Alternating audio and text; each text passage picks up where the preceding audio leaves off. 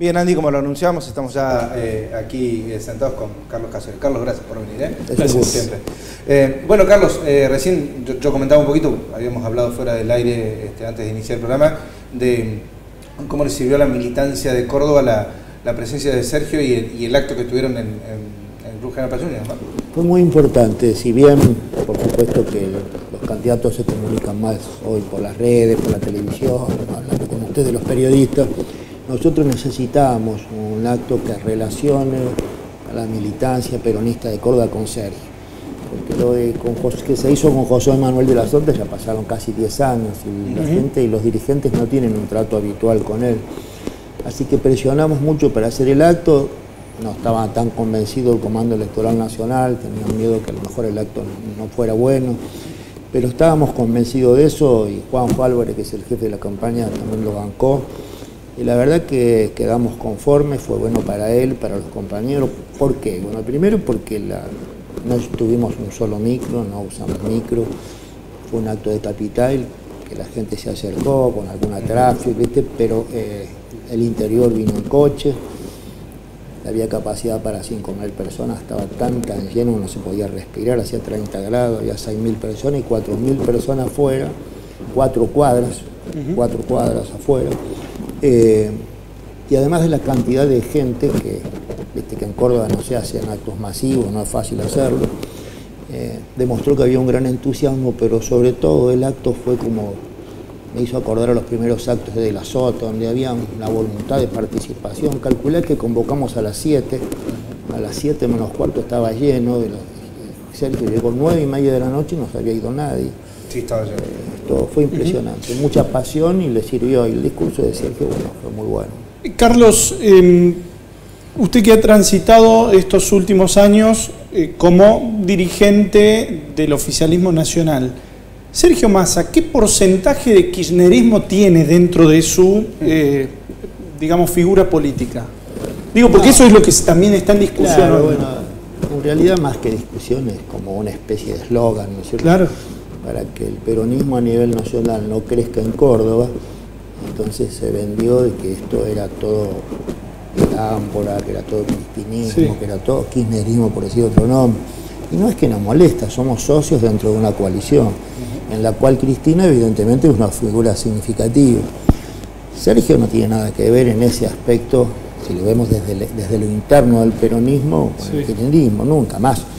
Con Sergio y con De la Sota en su momento transitamos la vereda del medio tratando de buscar un peronismo distinto, hasta que bueno, todos nos convencimos de que el camino para que el peronismo vuelva al poder era la unidad total de todos los sectores, el respeto a los que piensan distinto. Esto empezó cuando Cristina decidió ponerlo a Alberto, todos lo vimos como una oportunidad, menos el gobernador de Córdoba, ya sabemos, ¿no es cierto? No digo el peronismo de Córdoba, pero yo creo que el peronismo de Córdoba, entre los que nos acompañan y los que no nos acompañan, siempre lo vieron bien. O sea, no conozco peronistas de Córdoba que vengan a tu programa y digan qué lindo que gobierne Macri, estoy contento, ¿no es cierto? Pero bueno, simplemente fue una decisión política.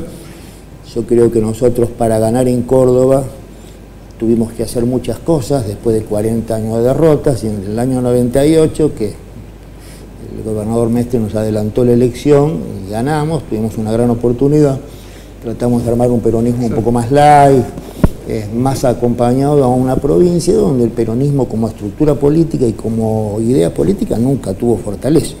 Vos lo ves en este departamento que hay lugares donde todavía hoy nunca ganamos en la vida y hay otros que pudimos ganar. Claro. Eh, bueno, y a partir de ahí creamos un peronismo cerrado, más light.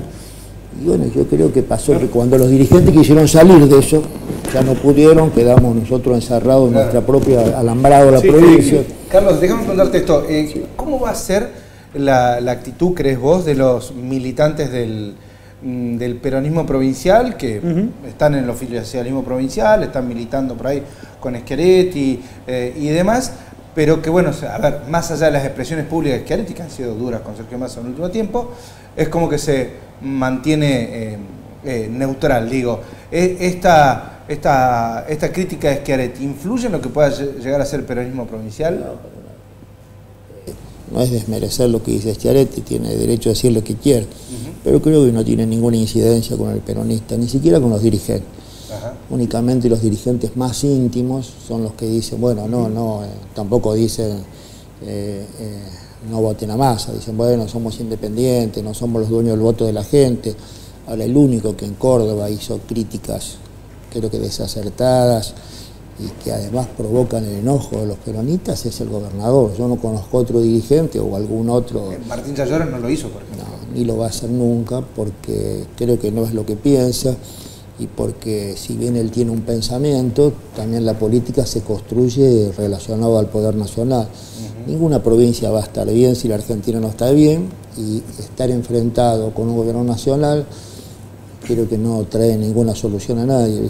Entonces me parece que esa neutralidad o esa libertad de acción que de algún modo eh, eh, la dio, aunque no lo diga abiertamente, cuando si vos sos un dirigente le decís, che, quiero acompañar, que se metele, hacia lo que te parezca mejor. Es muy distinta la actitud del gringo. Yo creo que además no va a acompañar el peronismo en su conjunto. Yo digo que, a ver, para hacer un número sencillo, sacó 30 puntos este Areti, Históricamente él tuvo 24 a 25 y nosotros 11 o 12, estamos hablando de los últimos 10 años. Eh, de esos 25, 5 sacamos en la última que subimos, le quedan 20. Los demás hasta 30 son todos votos que él le sacó a Patricia Bulli, que se cayó mucho en Córdoba. Claro. Sí. Eh, y bueno, creo que la gran mayoría de esos votos nos acompañan, lo que estamos convencidos que nos va a ayudar a tener un piso. Nosotros necesitamos en Córdoba un piso de 30 puntos y de ahí crecer todo lo que se pueda. Creo que el piso hoy, si se votaría, estaría garantizado y que también tenemos perspectivas. ¿Por qué digo esto? Bueno, pues yo te doy un ejemplo. Yo hablo con los intendentes radicales y no encuentro ninguno que diga voy a acompañar a mi ley. Y todos te dicen, mira, mi partido eh, se expresó por la independencia, pero nosotros queremos estar dentro del sistema me parece que vamos a tener ayuda del radicalismo increíblemente, ¿no es cierto? Porque durante muchos años nos enfrentamos, pero estamos en una elección especial, como bien dijo Sergio en el debate. Sos vos y yo, ¿no es cierto? Claro. Eh, eh, Carlos, quiero eh, retrotraer a la pregunta anterior que tenía un fundamento, mi, mi pregunta, y es que no he visto a lo largo de esta campaña de masa esos estandartes, ese relato del kirchnerismo sobre temas puntuales que no vinieron a colación del discurso de campaña de masa, por ejemplo, el, aborto, eh, bueno, determinados sectores específicos de minorías que no, hicieron una campaña de visualización a favor de masa, pero sí acompañaron la estructura. Bueno, Vos eh, sos, un especialista, lo has analizado muchas veces y te lo escuché decir muchas veces, esas son realidades, son realidades del pasado, que ya están. O sea, el matrimonio igualitario es una realidad, fue casi primero en el mundo, por ahí había algunos que no le gustaba, pero bueno, todas esas son cosas que fueron. Yo creo que para definir el pensamiento este, que no solamente tiene más, sino que tiene el grueso de los peronistas, es escuchar dos segundos lo que dijo Axel hace 20 días. ¿Te acordás? Él dijo, no miremos, no, no podemos hacer campaña mirando más al pasado. Está bien lo de Perón, lo de Vita, lo de, lo de eh, Néstor, lo de Cristina, pero tenemos la obligación como dirigente de crear una nueva canción. Y esta es la realidad. El peronismo tiene que ir cambiando de acuerdo a la época, de acuerdo al estatus, la categoría, el pensamiento de sus dirigentes, y eso ya está, está sostenido. Ahora tenemos que ir por nuevas cosas. ¿Y Sergio forma parte de esos dirigentes peronistas que van a ser el futuro inmediato, digamos? Bueno, va a depender mucho de él, son decisiones personales para ser parte de esos dirigentes tenés que estar.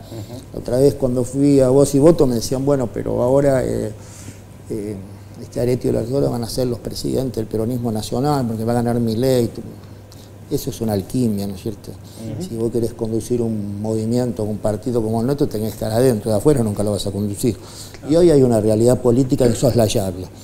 Para terminar con este tema de, Córdoba. Eh, todos los dirigentes, gobernadores, más eh, gobernadores que son independientes, que son vecinalistas, senadores, diputados, ¿conoces alguno que está fuera de esto? No hay nadie. Los únicos somos nosotros. Como te dije, quedamos prisioneros a una estructura de ganar una provincia, que la ganamos bien y la gobernamos bien. Ahora, cuando querés dar el salto afuera, está toda alambrada, es difícil. Yo lo viví con De la Sota, fui jefe de campaña de sus tres campañas nacionales. Y bueno, una persona como José Manuel, con todo su talento, nunca pudo pasar a los ocho puntos. Em, Carlos, Eh, tenemos a Sergio Massa por un lado y por otro lado a un Javier Milei que ha venido como este, arrancó con, esa eh, con, ese discurso eh, violento, con ese discurso, muchas veces le decían de, de stand-upero, incluso lo ha dicho el propio Massa, de, agarrar con la motosierra y barrer con todo eso. Y con ese discurso, que para muchos es increíble porque es antidemocrático, eh, tiene una violencia, como decía yo recién y demás, llegó hasta donde llegó. Digo, eh, tienen que aprender y corregir los dirigentes políticos, y esto va para todo el arco que compone la democracia argentina, para que no le crezcan más mileis, digo, esta gente que por fuera de golpe dice, estamos enojados con todo y lo votamos, no sé ni qué dice Milei, pero estamos tan enojados que lo vamos a votar. Creo que debe haber una responsabilidad nuestra, de los dirigentes seguramente pero también analicemos que vivimos en un mundo que ha sido muy complejo, ha sido muy complejo. La pandemia dio vuelta al mundo, cambió el sistema comercial, el intercambio, volvieron guerras que no estimábamos. Eh, hay un montón de situaciones que hacen que ese estado de bienestar, que la gente fue evolucionando, nos guste o no nos guste, porque hoy, eh, cuando mi papá era el bicicletero del barrio, yo vivía en el conurbano bonaerense, nos compramos una zapatilla cada dos años. Y ahora cualquier trabajador, inclusive gente que no está bien, vos lo ves como se viste. O sea, hay una diferencia, que hay una evolución en el mundo, el mundo ha mejorado en ese aspecto. Creo que eso se está perdiendo por montones de motivos, no solamente en Argentina. Y bueno, vienen estas cuestiones. A ver, en el tema de la violencia y de eso, eh, yo no creo que sea un tema de discurso. O sea, yo creo que Javier es violento, como es violento Trump, como fue violento Bolsonaro. Sí, sí, sí. Son personas que actúan con violencia en serio. Violencia que no siempre es física. No, no, no. Trump asaltó el Capitolio porque no quería aceptar un resultado. Bolsonaro prendió fuego al Amazonas para sembrar soja. Son actitudes violentas en distintos aspectos. Y me parece que Javier tiene esa naturaleza violenta que logró, como vos decís, todo eso. Ahora creo que eh, hoy, por ejemplo, para amenizar un poco el tema, está en un problema en qué aspecto. Que todas las cosas que dijo que va a hacer las negó en el debate y las negó sin sustento. Sí, sí, sí. Eh, yo lo vi Hay mucha que para captar votos ha ido para atrás con todo eso, ¿no? Yo creo que, yo creo que él es como, me dio la imagen como de un candidato que no tiene toda la voluntad de ganar o que perdió ese fuego que le permitió llegar a esos 30 puntos. Vos fijate de que por eso creo que él hace el acuerdo uniendo a toda la derecha argentina con Macri, porque se dio cuenta de que él estaba clavado ahí, no se podía ver más. Pero ahora están las contradicciones, que vamos a ver cómo evalúa el electorado, porque yo te digo a vos, voy a cerrar el Banco Central, y después digo que no, aunque eso dijo que sí. es lo único que, que, lo único que Si te digo, bueno, la educación pública ahora va a ser privada, y ahí dice que no, y si te digo que la salud pública le dice que no, y si te dice te digo no, entonces la gente dice, todos los seguidores que tuvo, a ver, que, este hombre viene a hacer algo distinto o viene a hacer algo distinto pero dentro del sistema, porque él hizo una elección antisistema, en contra de todo, rompe todo, o sea, ¿cómo vas a conseguir la plata para gobernar? Javier voy a vender todas las empresas, la voy a privatizar el país y va a manejar el mercado. El otro día fue realmente, lo digo con respeto, pero fue hasta ridículo decir, bueno, pero ¿cómo te vas a relacionar con el mundo? No, los privados Es como que no conocer cómo funciona el mundo. El mercado internacional funciona a través de los gobiernos. Pero claro, los gobiernos ponen las pautas y los privados se sientan ahí. Los acuerdos con el Mercosur no lo hacen los privados, lo hacen los estados. Entonces me parece a mí que puede haber una responsabilidad, sin duda. También el mundo es distinto y también lo que nos tocó vivir fue duro para la gente. Todos tuvimos que poner en riesgo la economía, los países poderosos tenían recursos y nosotros pudimos en riesgo la economía endeudados y sin recursos. Evidentemente esto iba a traer un problema. Eh, Carlos, me queda la última pregunta y le pido una respuesta breve porque tenemos ya la otra entrevistada. Si gana Massa, ¿cambia la relación del peronismo cordobés, el cordobesismo, lo que se conoció hasta acá, con todo el resto del país? Yo creo que sí. No puedo opinar porque lo tendría que opinar evidentemente Martín Larzuela, no yo. Pero de las charlas que, tengo que he tenido con Martín, porque tengo muy buena relación, yo creo que él tiene claro de que Sergio viene a unir, ¿viste? Él no es, no es un discurso el de él, o sea, simplemente para sacar votos. Él siempre creyó en la unidad nacional, lo planteó con De la Sota cuando fueron candidato y nos ganaron la interna. Él cree que en la Argentina únicamente lograr 8 o 10 premisas políticas de Estado, como tienen los países del mundo, en todos lados, los países importantes, para ponernos de acuerdo en cosas básicas y después discutir lo secundario, es la base para construir. Y yo creo que es un modo también de la famosa grieta, ¿no es cierto? A ver, sentémonos en vez de pelearnos hacer qué acuerdos son posibles. Me parece que va a cambiar y yo lo veo en el futuro Martín Layola, no sé si siendo parte o no del gobierno nacional, pero lo veo con una relación excelente. Te digo lo último, sé que no tenés más tiempo. Eh, la actitud de Alberto, más allá de que hoy esté muy mal con la gente, con Córdoba fue muy positiva.